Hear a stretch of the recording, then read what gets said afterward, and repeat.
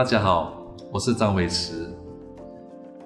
《论语》这一章呢，出自《颜渊》第十二。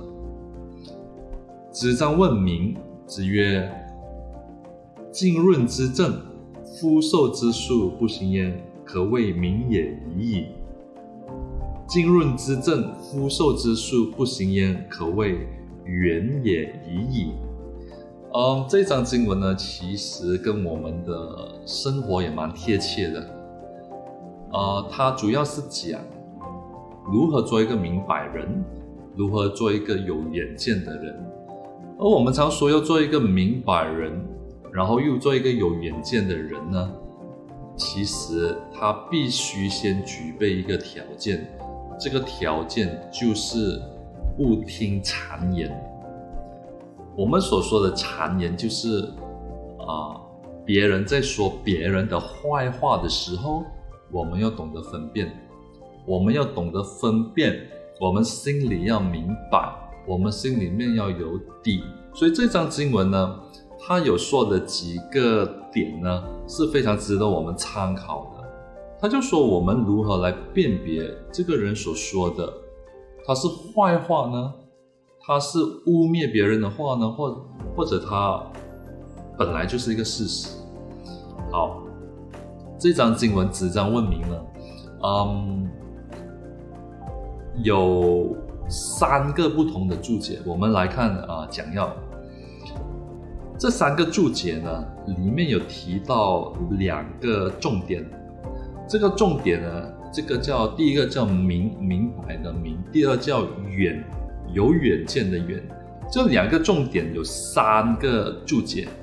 我们先看这个正，这个正字，这个正呢跟这个术哦，其实是同一个意思。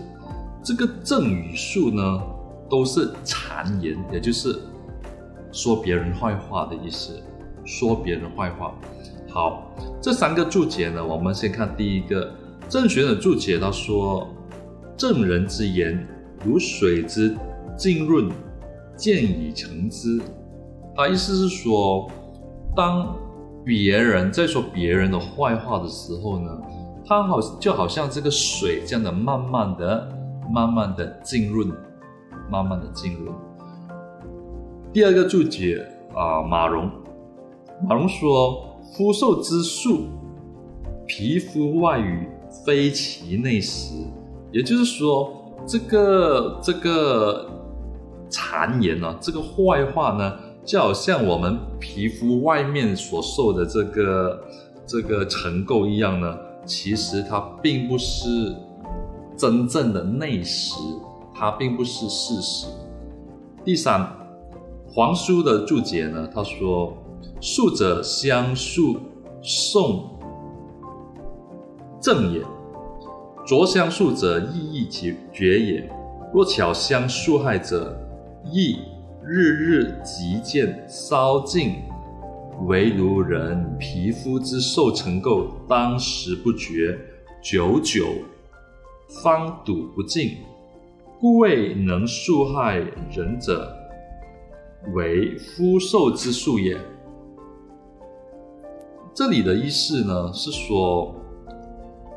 当我们说别人坏话的时候啊，其实啊，它也分成两等。第一等就是说，你很懂得说别人的坏话，让别人没有察觉这是一个坏话啊。然然后这种就是说，你很很懂得如何去说别人的坏话。可是呢，可是呢，虽然开始他并不察觉。可是到了后面呢，久久方读不尽。到了后面呢，日子一久呢，他也这个听坏话的人，他也会慢慢察觉说这个是谗言，这个是坏话。所以关键就在于你懂得讲别人的坏话，还是你不懂得讲别人的坏话。你懂得讲那个叫巧相术害者。如果你不懂呢，那个叫做着着相术者。好，我们再来看这三种这三种注解。第一个正确的注解，他说这个真言如水，渐渐滋润，令人接受而不自知。这个真言，这个禅言，就好像水这样子，它渐渐的、渐渐的滋润，令人接受。人接受了这些讯息，接受了这些坏话的讯息，他还不知道。他还不知道。第二个注解，马蓉的注解说：“马助夫受为术者言语不实。”也就是说，呃，他其实这个就好像我们皮肤的外外表一样，它并不是内实的。第三，黄书为夫受犹如皮肤之受成垢，当时不觉，久久实践。也就是说。刚开始的时候，我们不发觉这个是谗言，这个是别人说别人的坏话。可是呢，到日子一久了呢，你就会发觉哦，这原来是谗言。所以哦，说到这里呢，我我们也就会联想到有一句话叫做“啊路遥知马力，日久见人心”。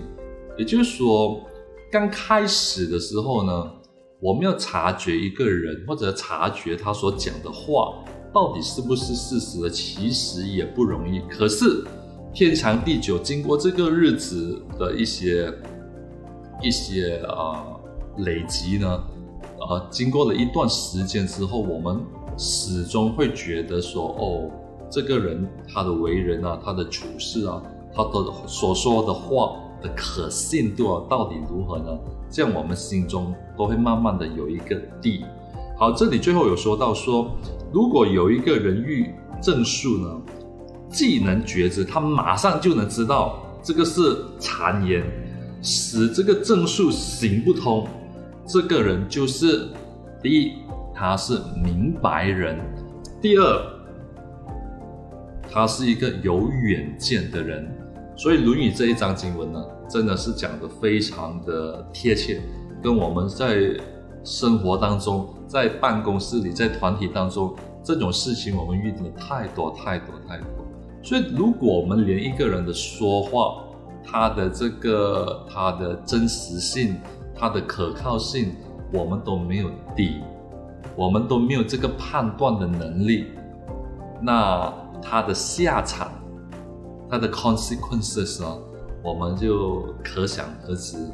所以这一章经文真的是说，如果我们要做一个明白人，我们要做一个有远见的人呢，首先，别人的说话是真是假，是实是虚哈，我们首先要能有一个判断，心里面要有一个底，这个才不会至于接下来的可能会造成的种种的伤害，种种的这个祸害。